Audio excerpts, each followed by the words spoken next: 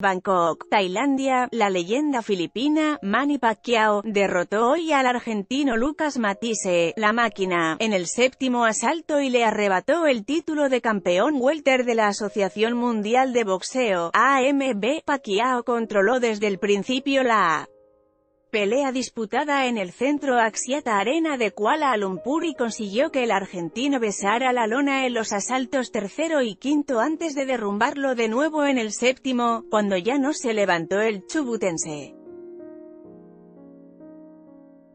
Manny Pacquiao tras derribar a Lucas Matisse, AFP quienes vaticinaban el final de la carrera de Pac-Man, a los 39 años han fallado y el púgil filipino, el único boxeador de la historia de ese deporte que ha conseguido nueve títulos mundiales en ocho categorías diferentes, ha vuelto a escribir otro capítulo en su leyenda. El zurdo asiático queda tras este combate con 60 victorias, 39 de ellas por nocaut y 7 derrotas. La máquina, argentina, de 35 años, mantiene su récord de 39 victorias, 36 de ellas por nocaut, y sube el de derrotas a 5.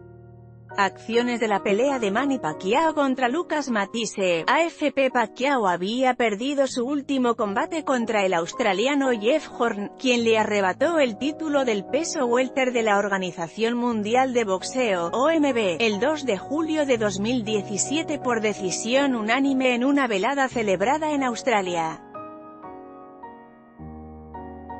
El referee realizando el conteo tras la caída de Lucas Matisse, AFP Matisse se presentó en Malasia con la confianza de haber ganado su último combate ante el tailandés Tewa Kiram, al que derribó en el